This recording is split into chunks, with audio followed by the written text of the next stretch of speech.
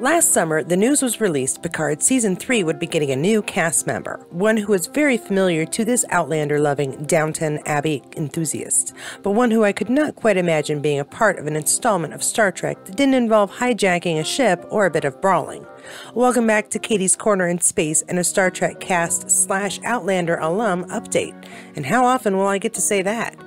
Ed Speleers is known for his portrayal of the pirate and thief Stephen Bonnet on the hit period time traveling drama Outlander, based off the book series written by Diana Gabaldon, was announced last July to be involved in at least three episodes of the upcoming third season of Picard. So, while I was obviously thrilled as we learned of the TNG reunion being planned for the third season, as well as the information about the many possible familiar DS9 and Voyager faces we might be seeing, I was also looking for any clues as to whom Ed Speleers might be playing for what could be a very short run.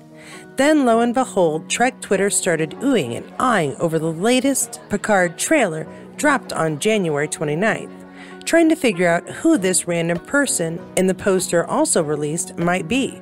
And there he is, right with the well established characters from either Picard's previous seasons or the cast of TNG we already knew were joining this third season.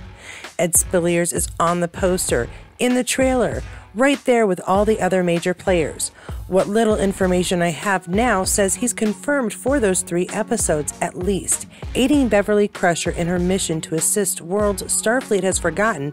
But could his appearance on the poster and the trailer mean he'll be sticking around for longer than those three episodes? And of course, we still don't know his name. While we're at it, the trailer released on January 29th finally did confirm what we suspected earlier. Todd Stashwick will be taking up the helm as captain of the Titan during Picard Season 3, which at least leaves one more mystery solved. I'll keep digging, and with luck, we'll know more before the February 16th premiere of Star Trek Picard. And until then, check out more videos here on what we do know so far about our upcoming Trek installments and the players involved, and I'll see you there.